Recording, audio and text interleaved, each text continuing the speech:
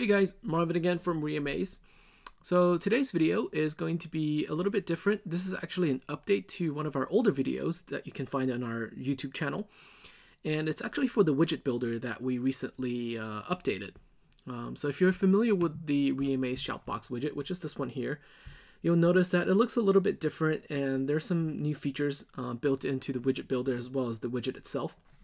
So if you click on it, there's obviously a new animation um, the form fields look a little bit different. Um, there's a response time, uh, agent response time here, as well as new triggers.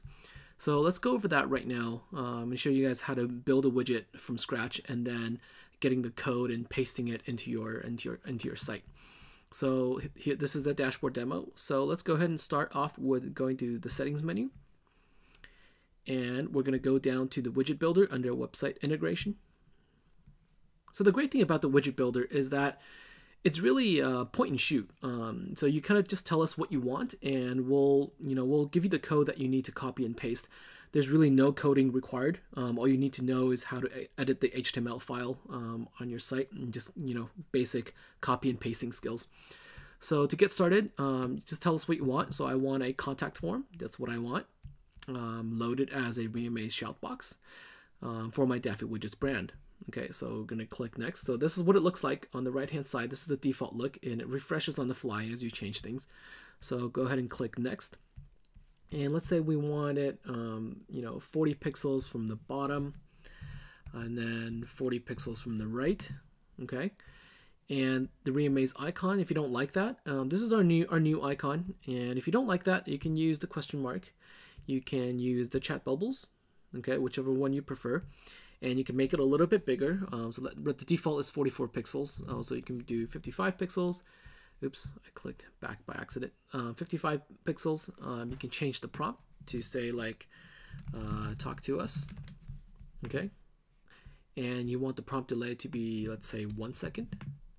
So after one second, it'll pop up. Okay, you can change that, you know, if, to 15 seconds if you want. And if obviously we're not not going to wait 15 seconds here, but let's just change it to two seconds. Okay, that should pop up. And the prompt duration, you can set it to 30 seconds. Uh, we prefer 60 seconds or 45 seconds. Oops, not 6,000, 45, 45 seconds. And you can change the background color. Um, do like a nice like deep purple. Choose, okay. And click next. Okay, so custom form fields. Um, if you guys utilize this right now, definitely give this another go and have it update. So the field name, um, let's just call this um, department, okay? And it's going to be a drop-down field, all right? And then the values, let's do sales, we'll do support, we'll do business and development, um, we'll do shipping, okay? So this refreshes on the fly. So sales, support, biz dev, shipping. And you can add another custom form field. Okay, and the field name, we'll call this metadata. And the great thing about this is that you can actually change it to a hidden field. And what this does is it allows you to track the URL of you know where the customer is, what they're looking at, their browser information, whether or not they have uh, cookies enabled.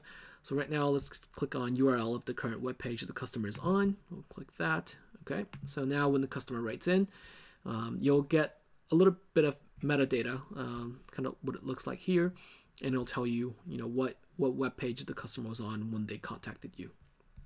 Okay, so now we can actually add another form field to show you as many as I can.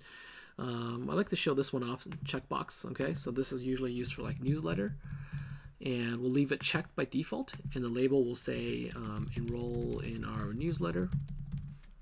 Okay, and as you can see, it's um, added onto the bottom here. Now you can leave it as unchecked if you want. Um, if you leave it as unchecked, the customer will have to opt in rather than opt out. Um, other fields, uh, just you know, text field, you can treat certain things as code. Uh, it's a little bit more technical, and if you have uh, some some questions about that, you can contact us at support at reamaze.com, and we'd gladly um, show you how that's done.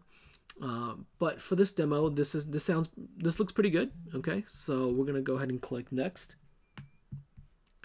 So here's the code that you need. Um, you just kind of take the script, okay, and you copy and paste it into the uh, between the body the, uh, the head tags of your HTML file on your site.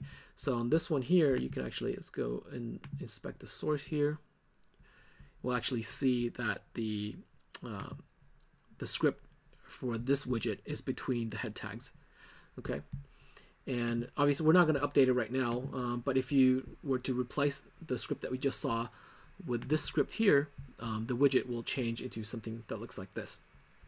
Now, if you're wondering how do how we change kind of the this color here, um, that's we did that in the widget builder. But if you want to change this color here, this is actually under uh, brand settings. This is under brand's appearance settings, and I can just show you that real quick. Um, so that if you if you're in the settings menu already, go to brands, okay, and then go to appearance settings since this is an embeddable widget setting.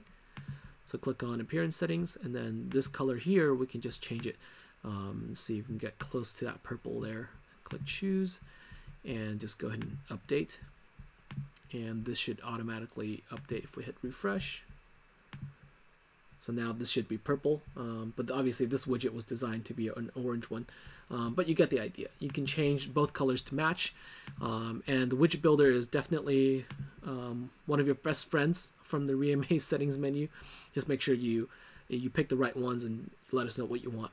Now if you want the widget builder to show the knowledge base first. Just change it to knowledge base, and the widget will actually show your knowledge base articles before uh, the contact form, and then customers can click on the contact us button or the contact us directly button at the bottom uh, to reach the contact form. Okay, so that's it for the widget builder. If you need any additional assistance, just let us know at support at reamaze.com. Thanks.